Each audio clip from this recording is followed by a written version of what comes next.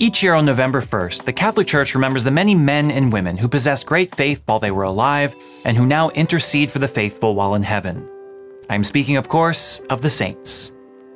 Different saints. For many Catholics, this means celebrating the lives of people like Patrick, Therese of Lisieux, Mother Teresa, Anthony of Padua, Francis and Dominic, Peter and Paul, the usual suspects. There are certain saints that everyone just knows and loves, and that's great. But there are literally countless men and women who have been canonized by the Church, their heroic lives and momentous faith lost to time. That is a shame. And so in this video, I've picked five saints that most people have never heard of to honor today. Let's reclaim some history.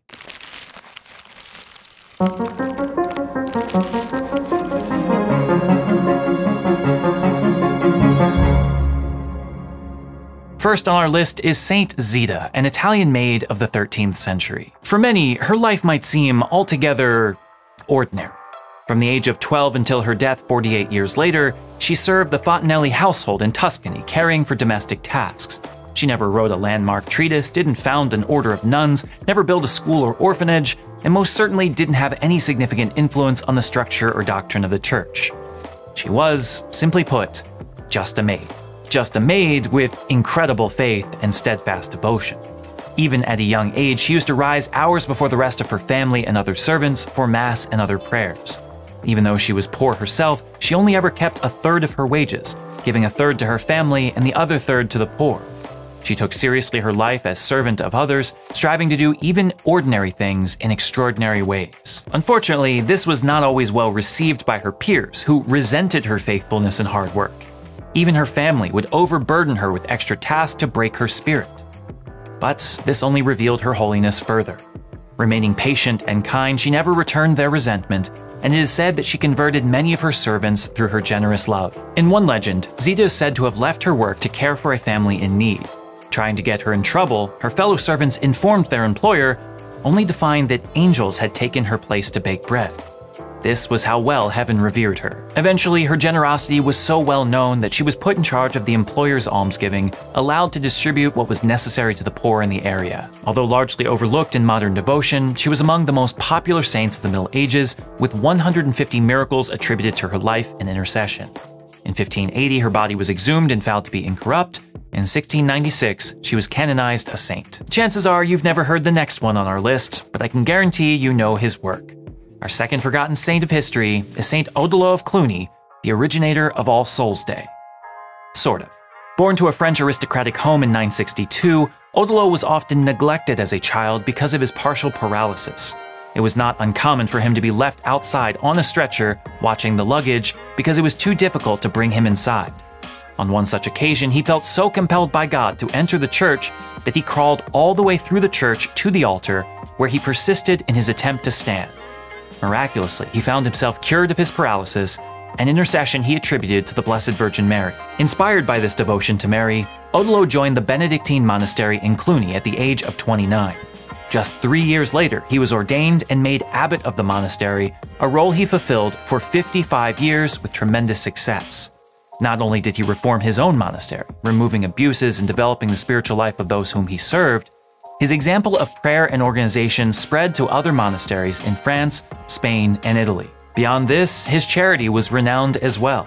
During a famine, Odilo sold the monastery's treasures to feed the poor. He is famous for having said, I would rather be damned for an excess of mercy than of severity. But beyond even that, Odilo is most remembered for the influence he had on the celebration of All Souls Day. Although prayers for the dead long preceded him, he was the first to establish November 2nd as a yearly date entirely dedicated to that purpose.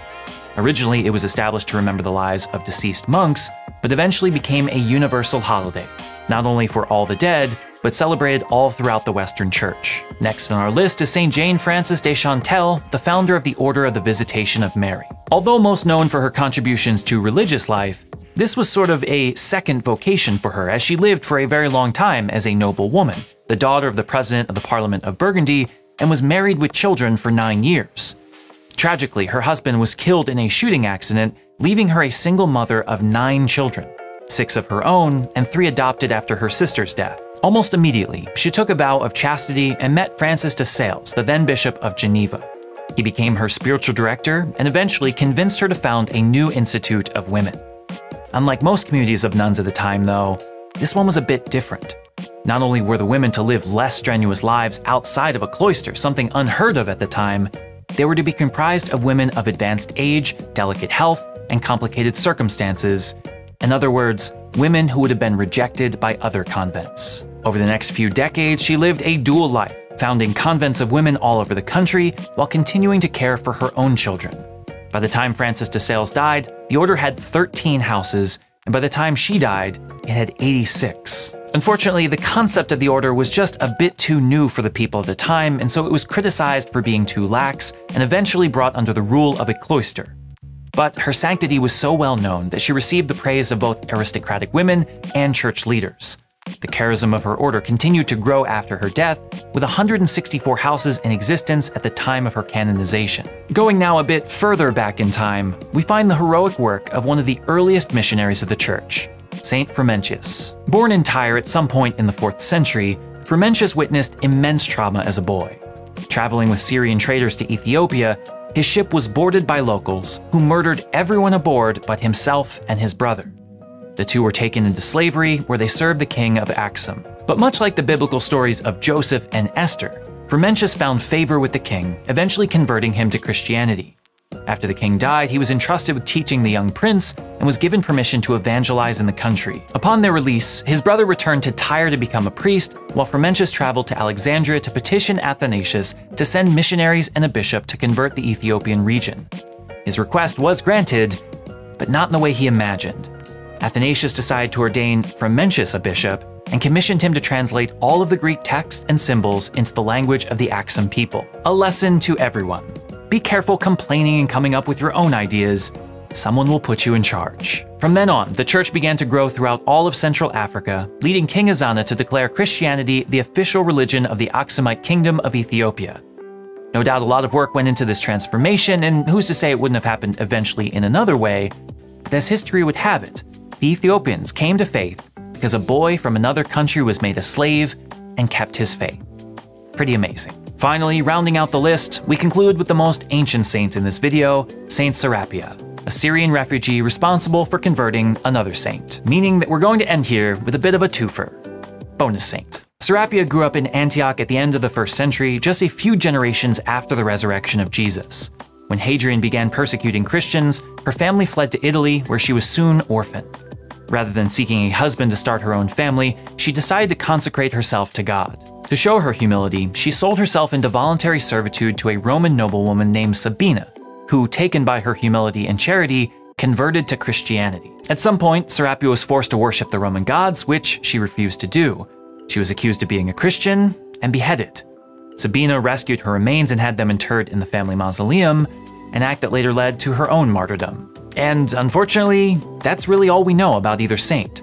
The sparse details of their lives make it difficult to build a significant devotion to either one, but I think it's important, given the heroism that they showed in the infancy of our faith, that we remember their names.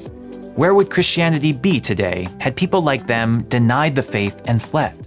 We owe so much of what we have to their witnesses, regardless of how much is still remembered of them. And that's really the point of these saints. We can spend this year thinking about Francis and Dominic and all the big names, and we should. We are indebted to the influence they had on the church.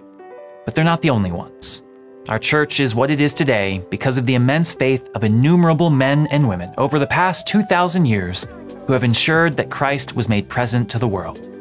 They are a reminder to us that we may never be remembered by future generations, but we can have a lasting impact on the world around us.